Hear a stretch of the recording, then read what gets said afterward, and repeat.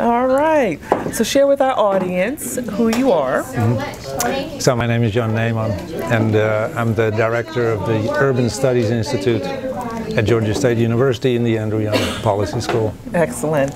And yesterday you had a presentation. Mm-hmm. In that presentation, you mentioned that in a decade or so, jobs today will be phased out. Yeah. So uh, my first question to you is, how does mindset and training need to change in order for uh, those in the future to stay relevant as far as jobs are concerned? Yeah, good question, and I don't think we're ready for it. And I don't think we're ready for it across the board. You know, so so there are estimates that are a bit wild, maybe a little bit exaggerated, that 85% of all the jobs that in 2030 don't exist yet, Oh gosh.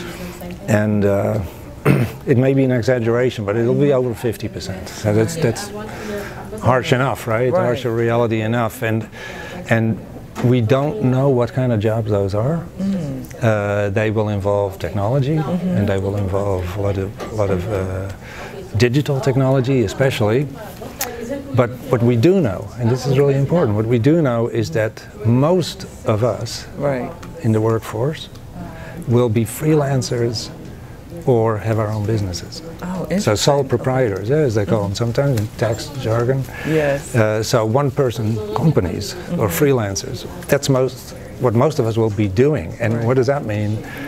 That goes directly to your question, I think, mm-hmm. because it means it requires two things. It, it requires an entrepreneurial spirit. Yes. It's not like I'm going to start a company and what kind of a company. Mm-hmm. No, what, what does entrepreneurial spirit mean? Mm. It means a, a, a certain flexibility Yes. and drive mm-hmm. and, and uh, creativity to get what you want and to do what you want.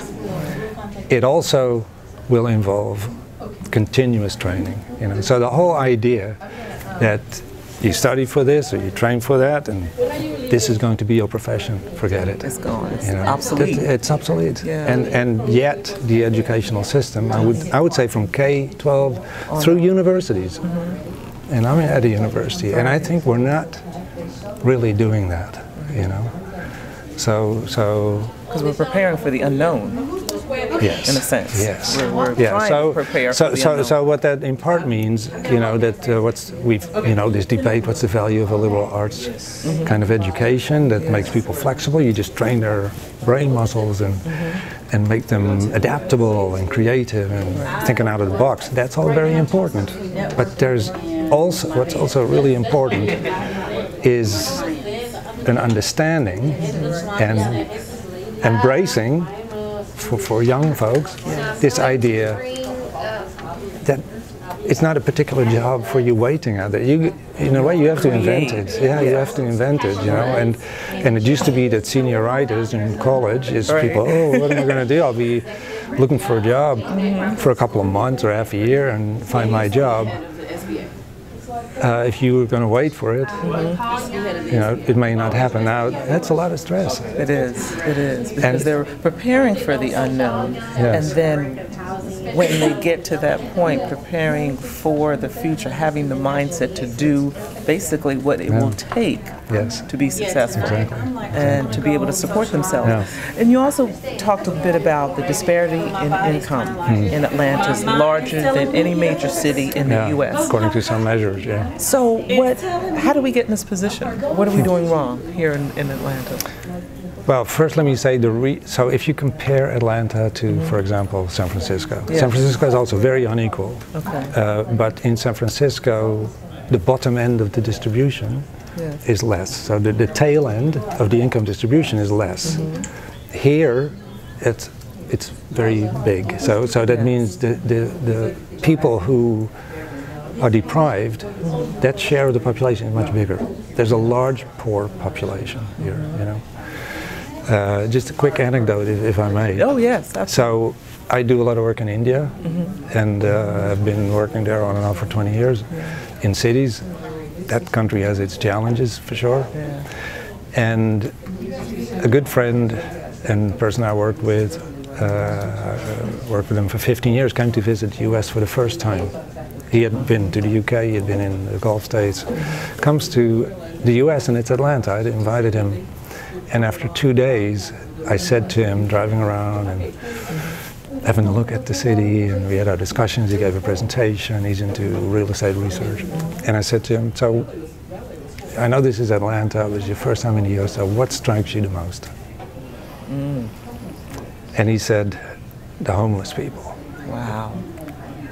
It was Yeah. that visible to him. It was that visible to him, and I, you know, sometimes you just don't forget things, and it's one of these moments that I think, okay, so here's a guy. He's from a country that overall is not nearly as affluent mm-hmm. as the U.S. Right. or his city, Mumbai, as mm-hmm. Atlanta, and he sees all these homeless people, and something's wrong. That's overwhelming. Something so how, is wrong. how do we overcome that? Do you know how? Well- do you have any thoughts about how we overcome this?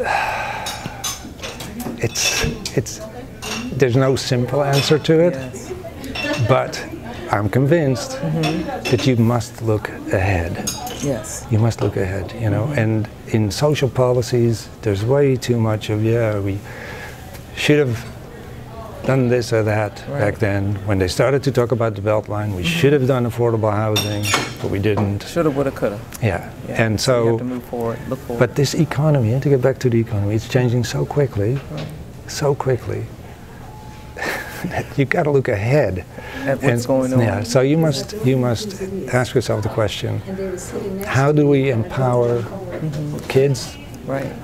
teenagers, adolescents, young adults, the whole trajectory? How do we prepare them for this future? Right. We've got a lot of work ahead. Yeah, We've got a lot of yeah, work. and so so yes, I think education is hugely important, but everywhere, not just in Atlanta. Right. So we've got But some work. but you you got some work, and Yeah. and uh, you know, it's Well- it's. I think it's possible to have this debate and think Yes. about these issues and think about the challenges and the policies Mm-hmm. without thinking about race. Right. It's possible. It's possible. And the reality is, of course, for a lot of people to see and to experience, that race also matters. Yes. In, in, in this city, especially. And, well, that's a whole, That's a whole nother whole, an whole other layer in conversation. But, But, we'll, we'll, uh, but we'll- everybody, everybody is who's growing up and, and who's preparing to, at, at a certain age, join the workforce, Mm-hmm. better realize, I'm convinced of that, you know, Yes. that 10 years from now already, it will look very different yes. from, yes. from today. From what it is Yeah, today. Oh, so- well, thank you so much. We my pleasure. appreciate you joining us. Yeah. Thank you.